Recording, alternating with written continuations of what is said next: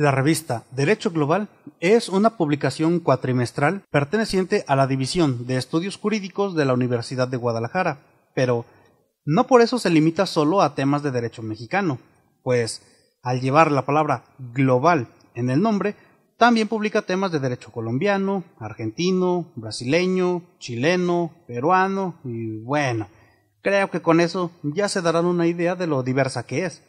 La revista pone a disposición de sus lectores artículos de investigación no solo de derecho local, sino también de derecho comparado, reseñas de libros, jurisprudencias de la Suprema Corte de Justicia de la Nación y sentencias de la Corte Interamericana de los Derechos Humanos.